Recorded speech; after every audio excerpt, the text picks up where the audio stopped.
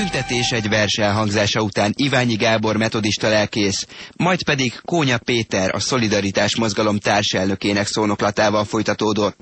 Rendszerváltás idején már felnőttként büszkén viseltem a kokárdát a szívem felett. Aztán néhány évvel ezelőtt a Fidesz arra kérte március 15-e után a híveit, hogy hordják tovább a kokárdát.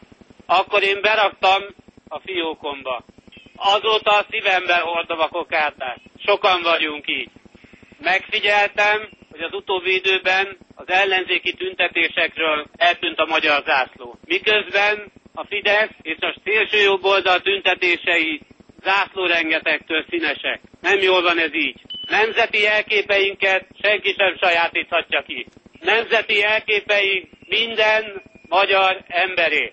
Ezért arra kérek mindenkit, hogy az idei március 15-én minden magyar ember büszkén viselje a kokárdát. Legyen az jobboldali, baloldali, liberális vagy egyszerű magyar ember. És újra lobogjanak az ellenzék tüntetésein a nemzeti zászlók. Legessétek meg őket! Mai beszédemet már kokárdával a mellemen fogom megtartani. Éles szavakkal kritizálhatnám Orbán Viktort és kormányát, de nem teszem mert megtettem ezt az elmúlt időszakban, és az ember akkor kritizál, ha segíteni akar. Ennek azonban ma már nincs itt az ideje, és nincs itt a helye. A mai napon határozottan és egyértelműen ki kell jelentenünk, hogy Orbán Viktornak és bandájának egy mielőbbi országgyűlési választáson egy szülke ellenforradalom által meg kell buknia. Az új alaptörvényüket az összes sarkalatos törvényüket és az összes intézkedésüket a történelem szemétdombjára kell hajítani és elégetni. Nincs más alternatíva, mert egy hazug, végtelenül korrupt önkényuralomnak csak így lehet vége. Márpedig a vég közeleg. Csak mellékesen jegyzem meg, hogy azt javaslom mindannyiótoknak, hogy gyorsan vegyetek az alaptörvényből mert hamarosan hiányzik lesz, és majd csak az ócskapiacon vehettek belőle nagyon drágán. Nem leszünk Orbán Viktor tartnyalói, és nem leszünk rabszolgák a saját hazánkban. Mi a szabadság, az egyenlőség és a szolidaritás eszméjén alapulva egy olyan új köztársaságot építünk, amelynek alkotmányát népszavazással fogjuk elfogadni. Olyan új köztársaságot építünk, amelynek köztársasági elnöke nem lehet egy diktátor csatlósa, mert a mi új köztársaságunkban a nép fogja választani köztársasági elnökét.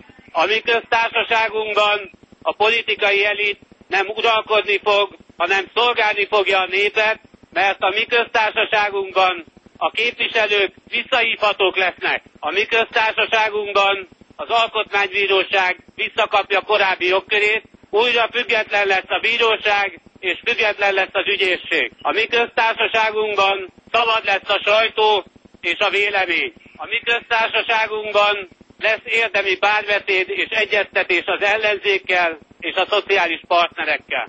A mi köztársaságunkban a tisztességes munkával megszerzett magántulajdon szent és sérthetetlen lesz.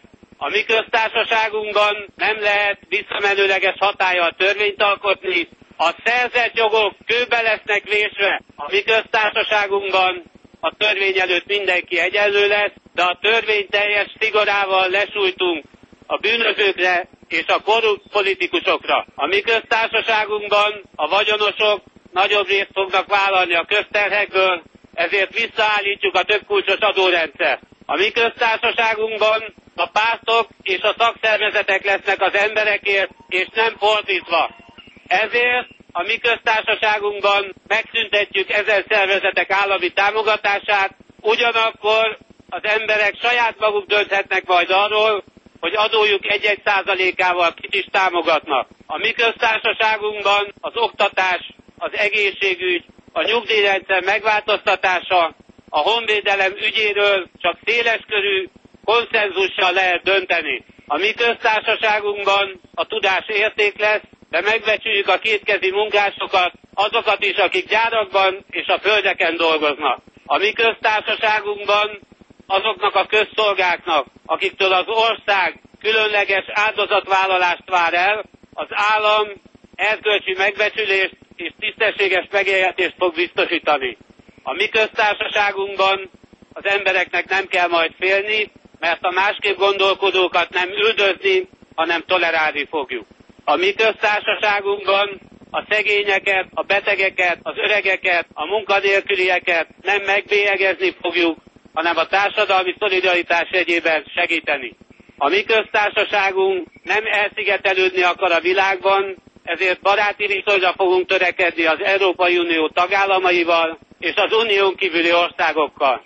A mi köztársaságunkban közösen őrizzük nyelvünket, kultúránkat, történelmi hagyományainkat, ugyanakkor a más nemzetiségiek kultúráját, szokásait tiszteletben tartjuk. Ilyen köztársaságot álmodtunk mi, és 1991-ben, amikor katonatisztként letettem az eskümet a köztársaságra, én azt gondoltam, hogy egy ilyen köztársaságra teszem le az eskümet. Azóta ez távoli álommá vált. Rajtunk, rajtatok múlik, hogy ez az álom álom marad, vagy valóságá válik. Fogjunk össze, és együtt valósítsuk meg azt a köztársaságot, amit megálmodtunk. Akartok egy ilyen köztársaságot? Akkor csatlakozzatok a szolidaritás mozgalomhoz.